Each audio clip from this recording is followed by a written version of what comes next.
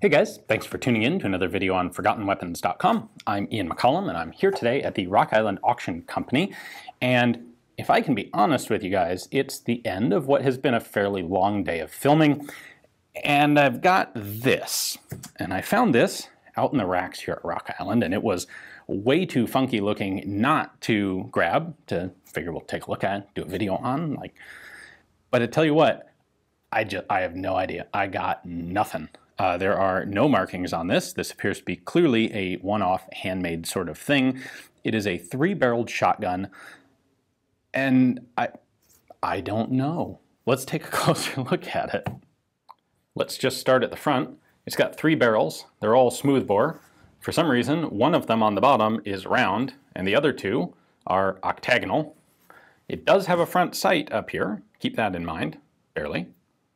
Moving back along the barrel, we have a lot of nothing until we hit this round vertical front grip, which that, that part kind of makes sense because where else are you going to hold this thing except on the barrels, which are going to get hot, I suppose, if you shoot much, but they're also muzzle loaders, so I don't know that you would be shooting all that much.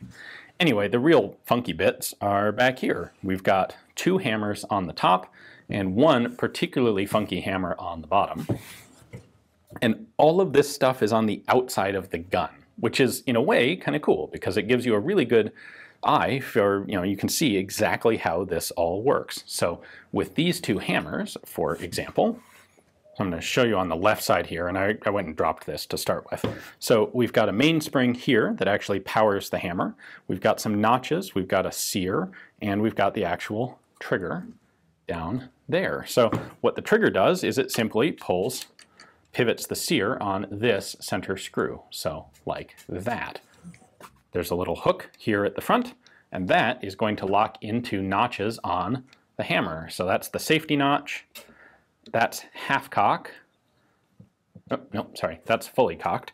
When I pull the trigger, the trigger simply pushes down on that sear bar. Now in this orientation, it's going to be pushing up on it. And when you do that, this hook drops out of the notch on the hammer, lets the hammer down and fires. You've got return tension on this provided by this little flat spring right there. And that's it. Like that's how a uh, percussion hammer trigger sear system works. Unless it's this one on the bottom, which is a whole different kettle of wax, where hammer here is integral to its own spring, and it's got a uh, handle out here to use it, and then this is actually your bottom trigger. So you pull that back, hook the trigger into it like that, and then when you pull the trigger, it just pops out and lets this thing snap down and fire that bottom barrel. So that all makes sense. It's a little weird that all these things are put in combination together. Got like a little block of wood here. Uh, oh, remember that front sight? Well, there's the rear sight, if you can even call it that. But hey, it's a shotgun, so maybe you just use the front sight like a bead. Now here's the wackiest thing, and I maybe it's just because it's the end of a long day, or maybe this is just legitimately really weird, but the buttstock pivots. It pivots that much. So from there to there to there, only that much. If you look at this hinge, you've only got a little bit of space before it hits a solid stop. So there it is all the way at the bottom, opens up there. There it is all the way at the top.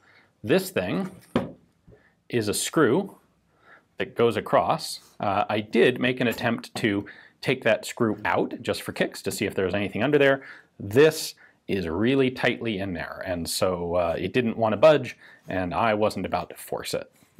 Anyway, the same person who did some kind of kind of crude, weird stuff like this also appears to have put a fair amount of time into checkering this stock, and you know they put a really nice looking piece of wood on this gun, which is, I mean, a little weird. Like the two don't seem to go together all that well. So normally if I say on video that here's this feature and I don't understand why it's there, like I'm not sure what that does, usually that means that there is some reasonably blindingly obvious purpose that I've somehow managed to completely overlook and approximately a billion people in the comments will tell me about it, which sometimes is irritating, but often, more often than not, is actually nice. Like, ah, of course, it was that. Like, Like, why there are markings on the underside of a Kar 98K sight. It's so that you can read the thing by lifting it up when you're prone. Anyway, I digress. Maybe someone has some brilliant idea for why this stock bends or why this gun is. So if you do, let me know. Uh, if you are interested in it yourself, it is of course coming up here at the Rock Island Auction Company. You can check out their pictures and description and all that good stuff uh, in their catalog. Um, I can't post a link to it because YouTube won't let me. However, I can post links to Rock Island's Instagram page and YouTube page, YouTube channel. Uh, so those are in the description text below. Check those out to see a bunch of, you know, what's always going on, what's new at Rock Island. And uh, thanks for watching. I am going to go, I think I'm going to go back to guns that are a little bit more normal and explainable.